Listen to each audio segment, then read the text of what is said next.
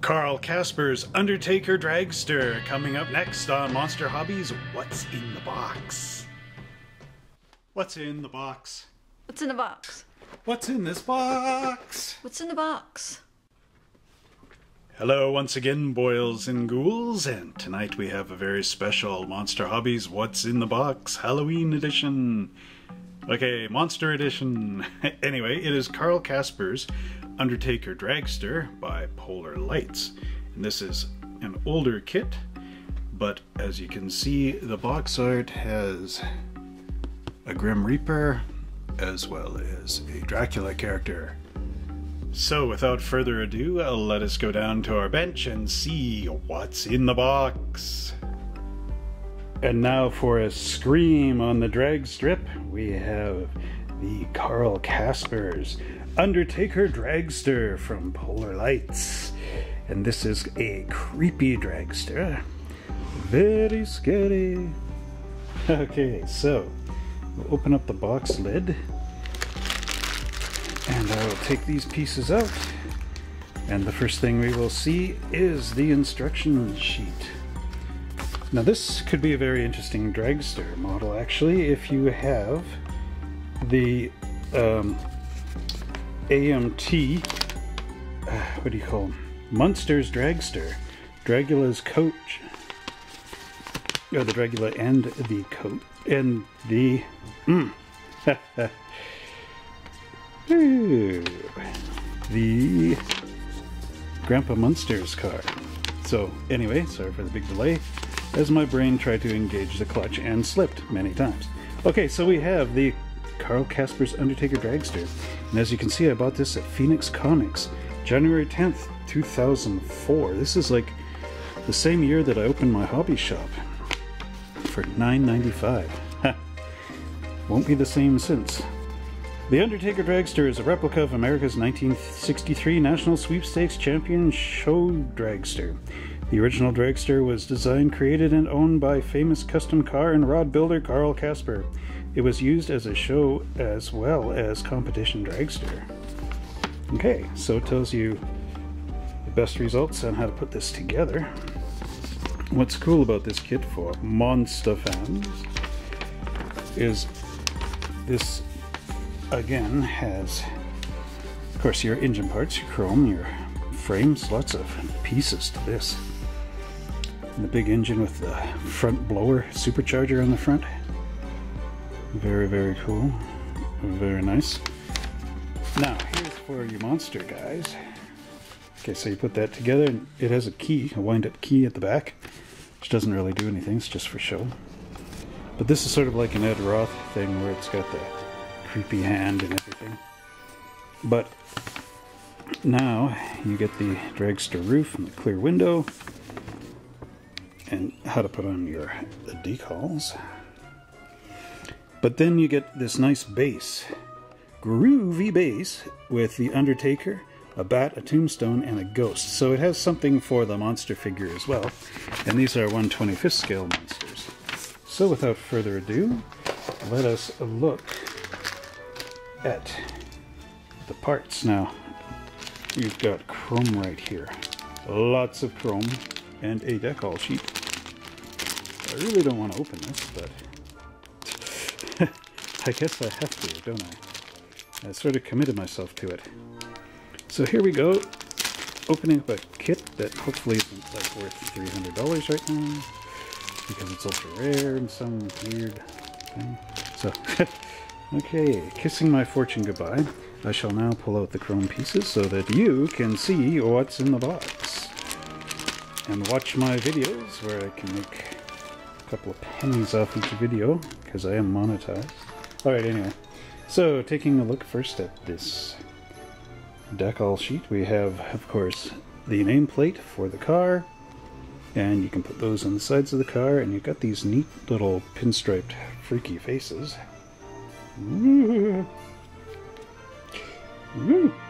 And those eyeballs. Okay. And there's our chrome, so as you can see there's quite a lot of nice detail. I will be reviewing Ed Roth kits in this as well, because these are all part of the art monster type pop culture hot rod scene that was really prevalent back in the 60s. And yeah, there's some really good parts. It's got, of course, the Chrysler style uh, Hemi heads in there. And then we have our nice spoke wire wheels, front and back, dropped axle, and of course the tube frame with the rails.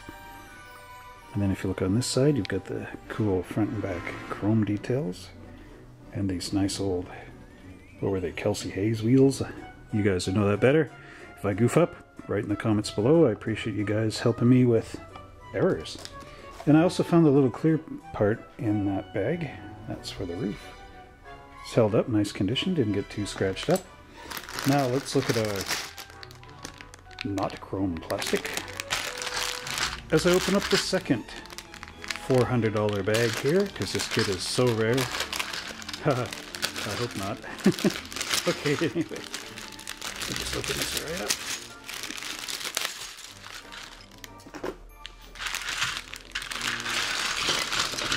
Quite the color. It almost looks like a glow in the dark.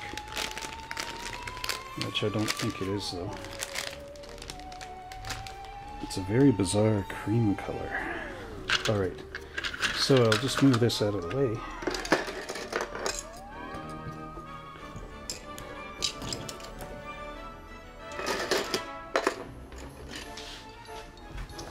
Okay, don't lose that part.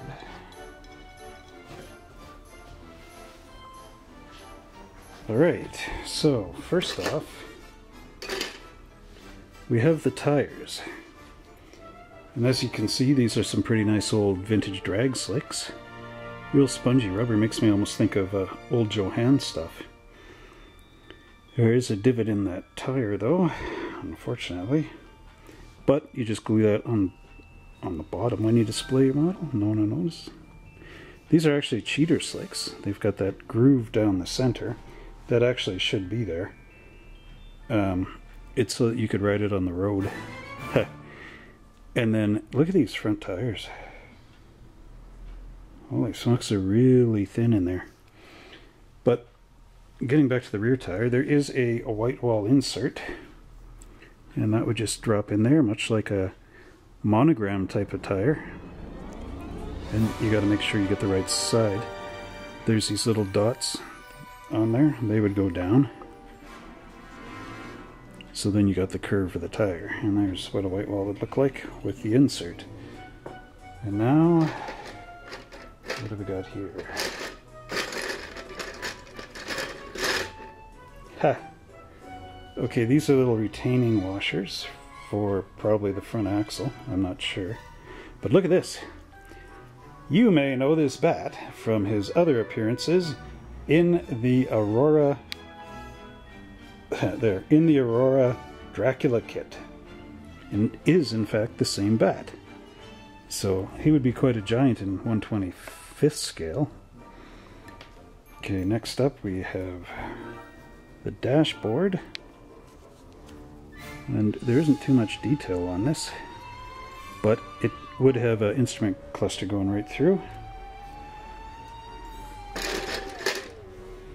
And here we have that interesting roof. And you can see the tuck and roll on there. Nice to paint. Plastic seems to be a good thickness. That would be your fiberglass body shell. And that piece. I look in the instructions to figure out what that is. There's the other half of the body shell. And of course, once you put that together,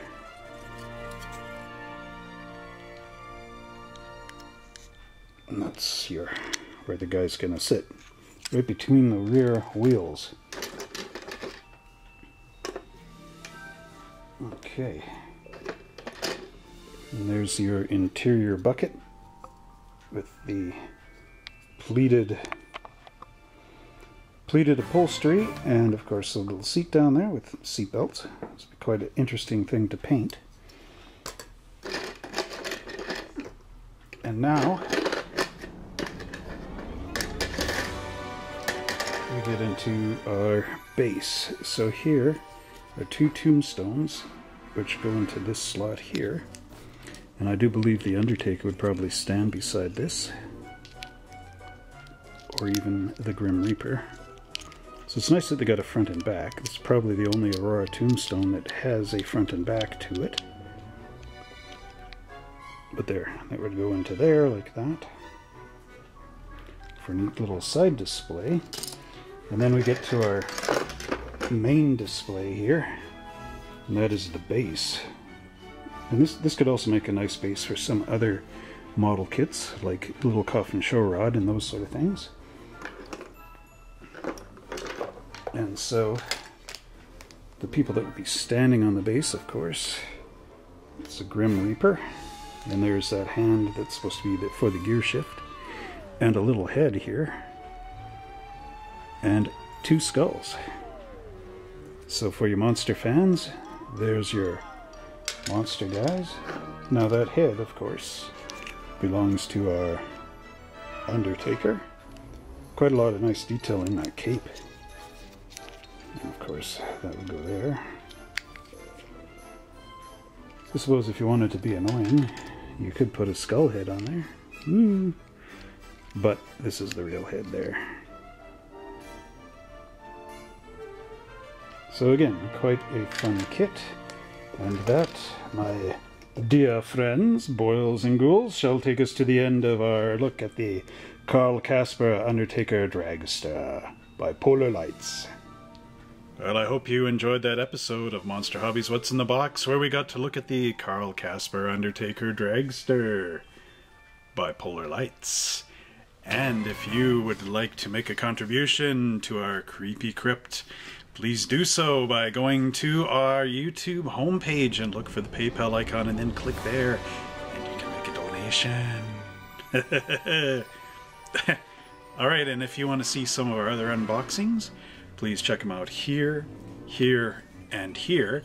And don't forget to like and subscribe and click the notifications so you get all our videos right here.